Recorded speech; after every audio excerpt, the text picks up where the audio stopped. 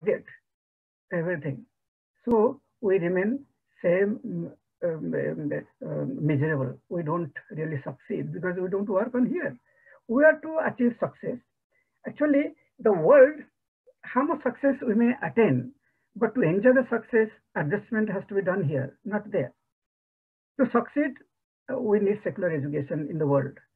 How to beautify the world, how to make a park, how to make the airport, we need secular education.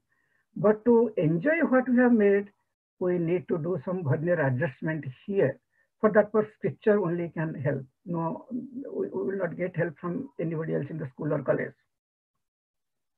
Then the solution Pujya Gurudev is telling that uh, first we have to plan. Planning is very much needed, planning. Then planning should be with promptitude. That means we should do it once we plan, once we know that yes, it is needed, we should do it immediately. For example, like suppose we want to marry somebody. Before the marriage, do you know how many things we do? All our cool things we take picture. It's very nice, isn't it? To go to Las Vegas and go to the sea beach. Very interesting. But we have not prepared. After the marriage, we will see that everything is completely different. Completely different. That means we have not prepared at the if that time we cannot prepare. One cannot prepare when one is in the exam hall. One has to prepare before the exam hall. So promptitude should be there. One should be prompt. At the right time, right thing has to be done. And um, what is right time and what is right thing, it, it doesn't come that way. It, it, it comes to some people who are very alert, who are extremely vigilant. They will know that, yes, this is the time to do. So promptness should be there. And haste is a waste. Pujya Gurudev is mentioning if one is hurried, if one is trying to do something um, uh, because one is anxious, then it will not yield result. Instead of success, one will have um, failure. And every opportunity will be converted into obstacles. But a person who knows how to work promptly and hastens slowly. Slowly means I'm not telling a lazy person, not lazy. Slowly, do everything very coolly in a calm mind. Keep the mind, mind calm and then heart free from all the three difficulties through which, three channels through which all the energy is dissipated. Which Buddha has mentioned in this chapter that worries of the past or regrets of the past, anxiety for the future, and excitation in the present. These three, the three channels in which all our energy get dissipated.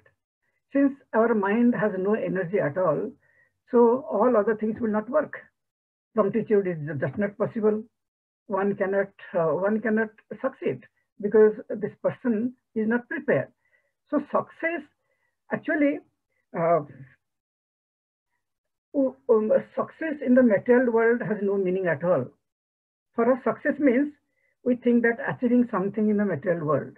It is a finite thing, but success is really here the experience of success is here, it is never there.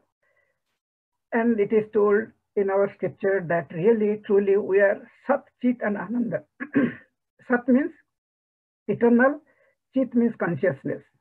Where consciousness is always complete, there is nothing lacking in that. If we realize our true nature, then we are always successful. Not that if we achieve something, then we'll be successful. No, we are success by nature, not that we'll be successful the, in the very attempt to be successful, we make ourselves failure. We'll never succeed. So that is in chapter Pujya Gurudev is emphasizing. And then he's telling to develop this ability to be alert and vigilant and uh, to be prompt and to maintain equanimity, three things have to be done. First thing he's telling, do prayer every day. In the morning, morning time is for prayer. And that is not the time to to sit in the computer and uh, what the stock market is doing. And now I think I is sitting in the stock market, everything is gone. But anyhow, when you get up, either we go to the Facebook or I don't know what other accounts that um, Twitter or something, we spend our time in that one. And then people write all the garbage. It, then nobody is going to tell regarding Hanumanji. Everyone will tell all useless things. And I dump in my mind and then try to live happily on that day. It is it will never happen. In the morning time, we should put something good, not tea or coffee. it's, good things we should put. Those good things are, it is told, Pratasmana mantras are there. Pratasmara mehodisam svardatma. These are called Pratasmara mantra. What we should think early in the morning. First, what we should think regarding ourselves. There it is told we should, instead of thinking I am so and so, I am the most useless person. I don't know a lot of stress and strain and I have never succeeded in my life. My dad has the uh, heart problem and uh, his dad had heart problem. So I'm going to get heart problem. Instead of thinking this way, who really we are? If we think that way, surely our day will go good. So in the morning when we do prayer, we make the connection with God. When we make connection, all the godly qualities will come and download in us. So we are ready to you know, go to the next step. Then you have to remember him.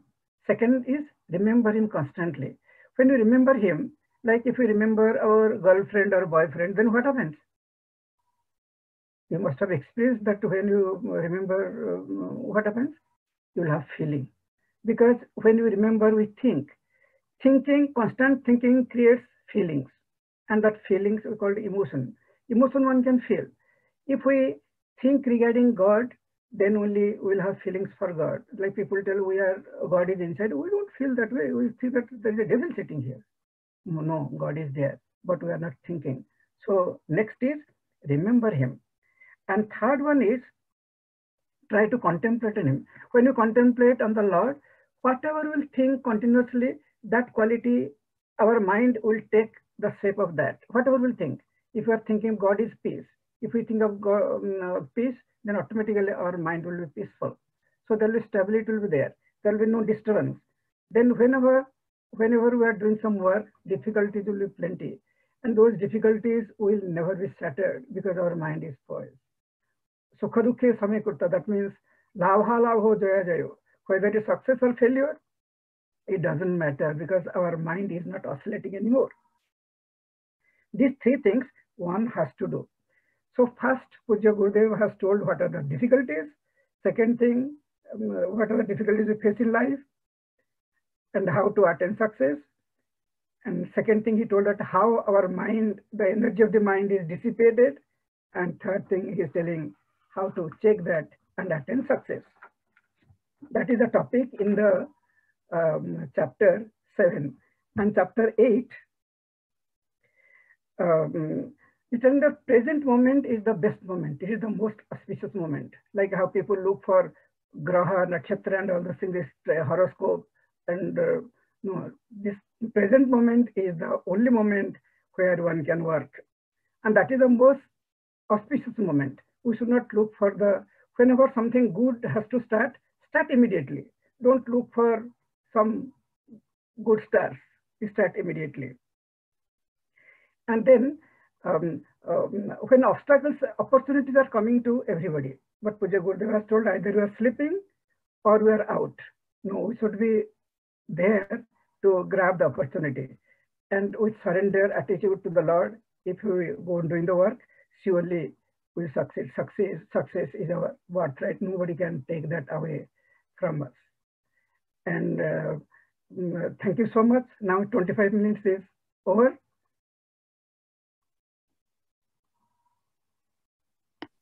Thank you, Swamiji. We have a question from Soumya. So Soumya, I'm going to unmute you so you can ask Swamiji.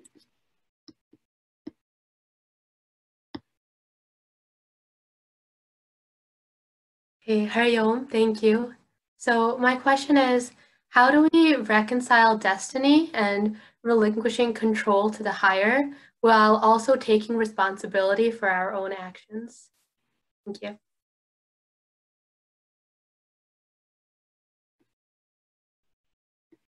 Can Swamiji answer?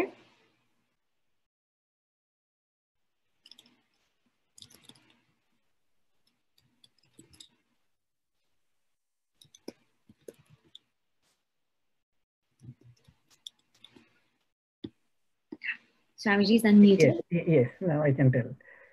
See, destiny means the situation around us, the present destiny, and which is the which you call as prarabdha, and it has happened because of the past. There are so many reasons are there eh, are responsible for the present situation what is created around us. Suppose you will tell, Swami, you look like a donkey. That you have told, okay, I cannot do anything. And you took the mic and you told that and you ran away. I cannot do anything. But you have told. This is the destiny. Okay. But now how I'll respond to that, that is entirely depending on me.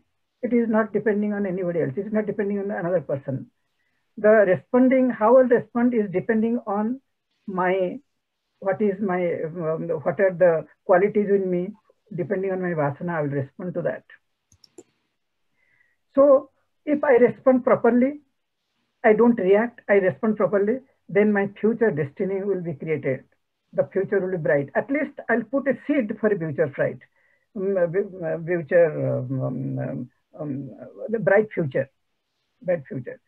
So now the destiny is not really uh, deciding our our future. Destiny is not deciding. It is our attitude towards a particular situation is deciding our future. So from that standpoint, always we have the freedom. So we are not a victim of the destiny. And what was the next next part?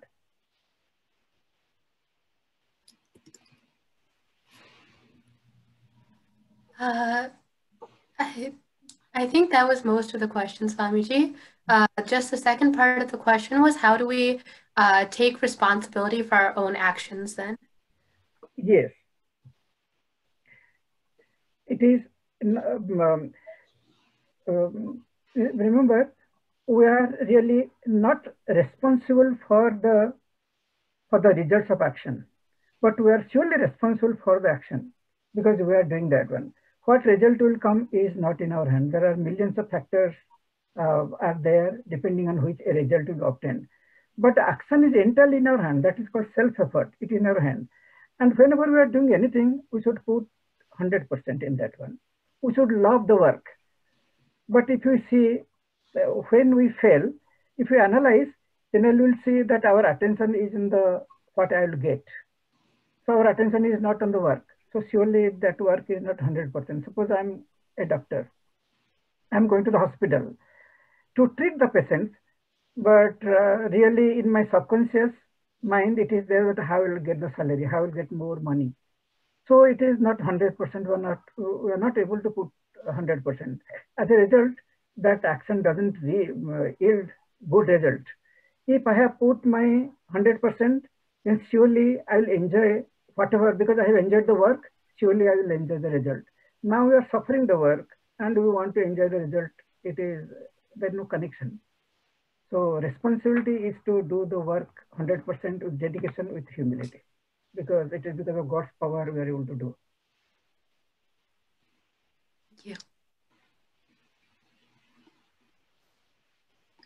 Does anybody have any other questions? You can send it to Shubhani. Okay, there's Suraj. I will unmute you. Go ahead, Suraj. Hey, I'm Swamiji. Um, so in our discussion group, we started talking about um, self-confidence and some ways that we can improve self-confidence on our day-to-day activities. Um, does Swamiji have any suggestions on how, um, as we as we go on, we can develop and improve our self-confidence day to day? Actually, uh, the people who have got a lot of confidence, they commit more mistakes. They'll commit more mistakes. Actually, self all problems in the world is done by self-confident people. They know everything. So you cannot tell them anything because they are confident and they will work um, how the self-confident, they will work like this and they will look up, even they will not look down at all and they will walk so confidently and they will trip on a stone and they will fall. So we are not talking of self-confidence. Self-confidence without clarity will bring disaster. If we have, don't have clarity, self-confidence is not useful at all. So what scripture is telling, instead of self-confidence, have self-awareness. Self-awareness. Understand everything clearly. If we are uh, self-awareness means like it is written in Bhagavad Gita, Yomam pasyati sarvatra sarvam cha mai pasyati. That means a person who sees me everywhere, um, uh, that person will never fail in life at all, always that person will be with me. That, that is where it is told. What does it mean? When we see a person, let us say, I will give an example, mm, um, um, don't take it another way. Suppose I tell somebody as my boyfriend, okay? Now I'm thinking that this person is my boyfriend. But what scripture is telling, no, he is the manifest, this person is the manifestation of the divine. Okay, that means we didn't perceive that person correctly. There is a, something wrong in our perception. We thought that that hairstyle and that uh, color of the skin and that flesh and the muscles, that is the person. And those bones and flesh, how they are arranged, that is called the person. And then I'm dealing not with the person, I'm dealing with the hairstyle, I'm dealing with the nail, length of the nail, I'm dealing with the uh, with the muscles. So as a result, I don't meet that person, but recognize a person as it is, as he or she is, not as we want to see that person. If that awareness comes, then always uh, um, will be successful. There is no need of um, confidence. Automatically, everything will, right thing will happen. We may give different names, but everything will happen automatically. We'll, we'll live happily, we'll deal with everybody um, with love and care, we'll help everybody. Um, then we, will go along with everybody. We'll have no problem for anyone because there's nobody other. So self-awareness is the right word than self-confidence. Thank you, Swamiji. We have a question from Vaibhav. Vaibhav, please go ahead. Hariom Swamiji. Yes, Um, uh, my question is, uh, in our pre in our discussion, we talked about uh, Suraj gave a, a good point of bringing the goals from the outside to to where, where where we're trying to, you know, do internally. So how what is the best way to do that? And is the end goal is the is success defined as attaining nirvana? Let us not coin uh, big big words. Okay, what happens uh, in order to understand one simple thing, we create uh, three more complex words, and then we get caught into in those words. Nirvana and all, I, I don't know what they mean really. But mainly, if we analyze ourselves, always we see there are two aspects to a human being or to any living being. One is the material aspect, that the body is the, uh, is the gross matter, mind is also matter, and the intellect is also matter. Mind and intellect, they're subtle matter. Whether it is body, mind and intellect, they're all matter. Matter is always inert and insentient. Okay, that is one factor of a human being. The other factor is the spirit, which is life itself. So life plus matter is the human being. Okay. Out of these two, um, um, uh, what the scripture is trying to tell that we are the life because of which this body has meaning. If the life is not coming in contact with the body, then living is not possible. Living is not life. Living is possible because of life. So if our attention is on life, then that life is pulsating everywhere. Uh, somebody, I read somewhere, it is told that we are not really human beings trying to have spiritual experiences, but we are really spiritual beings having human experiences. That is the way it is told. So we are the really the spirit. And once, once we recognize that we are the spirit, we'll see the spirit all around. Then um, we are never away from anybody or we are not attached to anybody and we are not going to lose anything. So that is a, um, that means I have brought that uh, um, I have realized that inside, or I'm thinking at least thinking regarding that inside. So that is uh, automatically that awareness uh, will come inside. Thank you, Swamiji.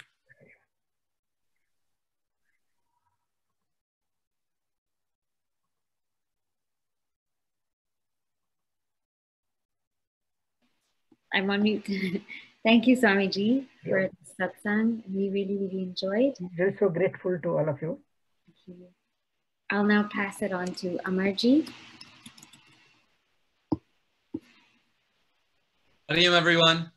Um, hope you all enjoyed tonight's satsang with uh, Swamiji and our new edition of the breakout sessions. I know my group had a great time. Um, and um, one note from our booklight team to everyone else is uh, stay healthy, stay safe. Um, this forum of Booklight, we set out to bring together CHYKWest and expose, for lack of a better word, everyone to different Swamijis of the mission, different sevaks of the mission. Um, this model is something that we've never really done before, wherein each Swamiji is taking different parts of the same book, you know, and being able to provide different anecdotes about Gurudev. Um, this format actually was taken by CM West, and now they're training their entire uh, adult Balvihar uh, Sevaks uh, system. So really, I want you all to understand that this is uh, something new, something different, and it's really a wonderful opportunity for others to get involved. Um, so please do spread the word. Uh, right now is uh, the time for everyone to be involved in uh, spiritual sadhana. Um, how to keep calm when everyone else is going crazy. How to stay vigilant. How to be able to forge ahead and continue to do the work that we need to do. Uh, so please um, do help us. We need, we need help getting the word out to as many people as possible. Um, secondly, so that way you all also are able to join every week. Um, I'm going to share now again the um, Booklight uh, text group that we have. And there's an automatic reminder that will be sent um, on the day of and uh, 30 minutes before. You all should have gotten text today if you're part of that already. We have more than 50 people who are signed up. So I'm going to share this real quick. So right now, you can actually take a moment and just text at booklight to 81010. Right now, pull out your phone. It's the only time satsang we'll ask. Pull out your phone at booklight and text that to 81010. I'll take a moment, let everyone text that, and then we'll continue.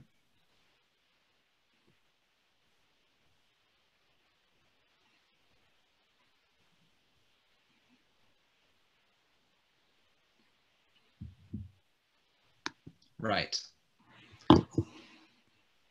There may be some questions. Very, uh, we're not keeping any of that information. Is mostly just so that way you guys can get reminders from us. Um, so that way you guys can continue to stay involved. Please spread the word. We can really use it, and others, your friends, your peers, can really use this now during this time of satsang. Next week we'll have Swami Shivatmanandaji. Uh, in, Amarji in two weeks. Oh, sorry, sorry. Next week, two weeks from now. Next session Two weeks from now, we'll have Swami Shivatmanandaji from our uh, San Antonio and Austin Center. Um, and Swamiji is also fantastic.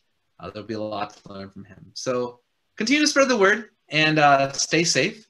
If you have any questions about Booklight or if you would like to be part of the team, um, I'm going to send out on chat uh, our two emails, Shubhaniji's as well as myself. Uh, please feel free to reach out to us at any time uh, and we'll be happy to get you guys involved. Um, really, we could use the help. Uh, help us reach WhatsApps, help us reach your group. And lastly, um, we said at the very beginning this group is now going to be opened up to uh, more than just the CHYK age group, but it will be still directed towards the CHYK age group. Um, more so, we were cutting off registration saying, no, if you're above this age, you cannot join. Um, participants will be accepted, allowed, and encouraged to join. Uh, and this is just during this period, but don't uh, don't worry that we will lose the CHYK vibe. You know. Um, all that said, though, that was a lot of information. I don't want to take away from Sanji Satsang. So thank you all for coming, and uh, we'll see you next week. Or sorry, two weeks from now, next session. Uh, and now we'll close. Om Purnamada पूर्णमिदं पूर्णात् पूर्णमुदच्यते, पूर्णस्य पूर्णमादाय पूर्णमेवावशिष्यते। ॐ शान्ति शान्ति, शान्तिः। हरिः ओं श्रीगुरुभ्यो नमः। हरिः ओम् हरि ओम् everyone